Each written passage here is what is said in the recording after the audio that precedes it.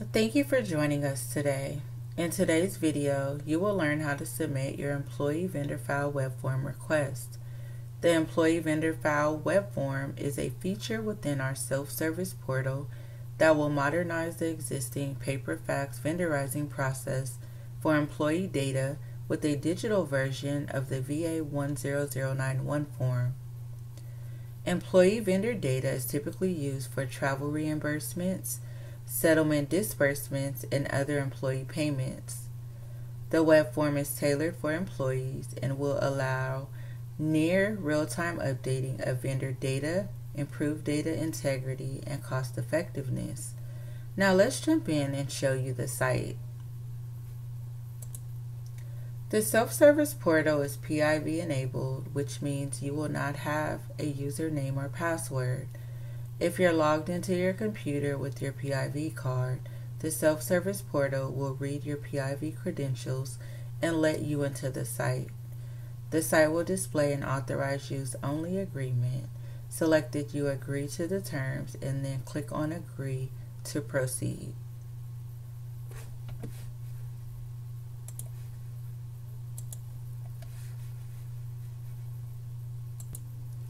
The employee vendor web form is located in the Forms tile. As we continue to grow and modernize additional forms, they will be made available within this Forms dashboard. Let's proceed by clicking the blue Employee Vendorizing Form link.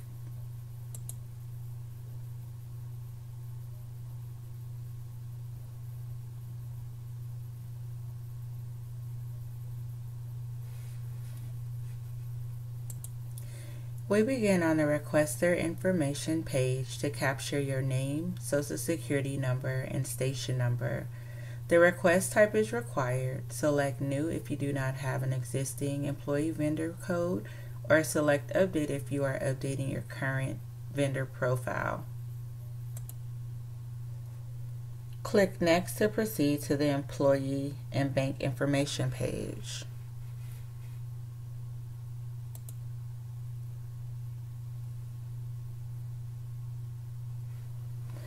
On the left-hand side of this page, you will input your personal contact information, including your first name, last name, address to include the city, state, and zip, your email address, and your phone number.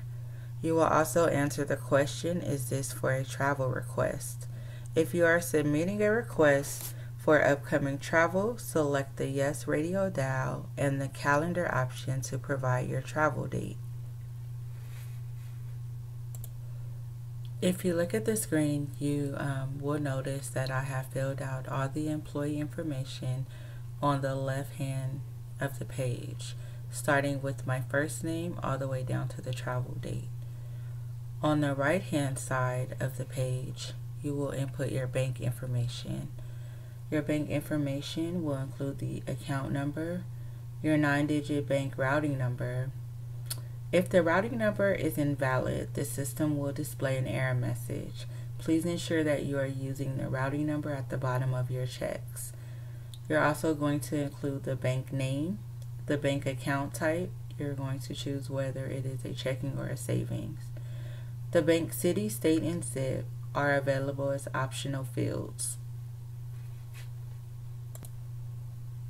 I have now updated the information under um, the bank information on the right hand side. In the middle of the screen, you will notice the requester's notes section. Within the requester's notes area, you will input any pertinent details about your request.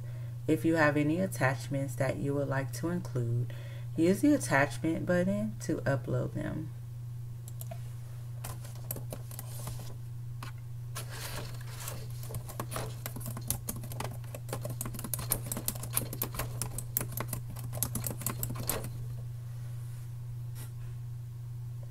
Once you are ready to submit and all required fields have been provided, click on the Create button to submit your request.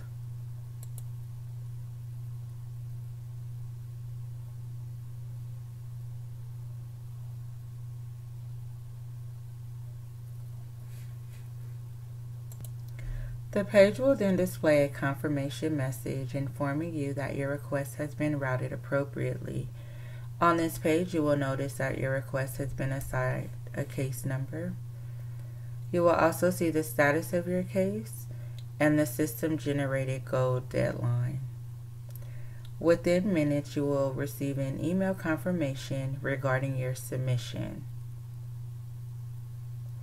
To find the status of a submitted case, click on the Cases section um, tab located in your left navigation pane. The Cases section displays your cases in four categorized subtabs. We have Recent, Active, Resolved, and Followed cases. Your recent cases display a list of recently submitted requests. Your My Active cases open, I mean, your My Active cases display any open and pending requests. And your My Resolve cases display resolve requests.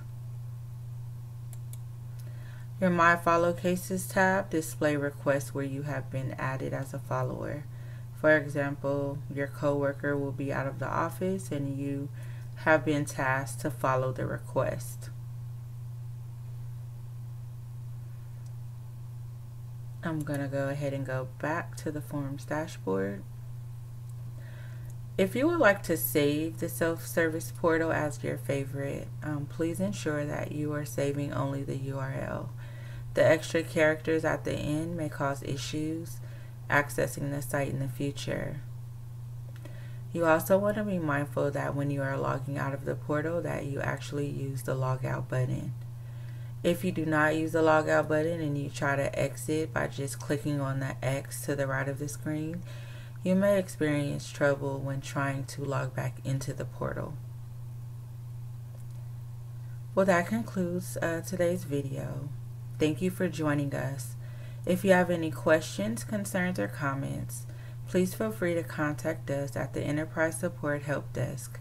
Our phone number is 866 372 1141.